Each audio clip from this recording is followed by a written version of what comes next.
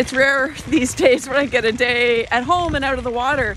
But when I do, I love getting out on my bicycles or in this case, my three-wheel smile machine, my uh, Catrike.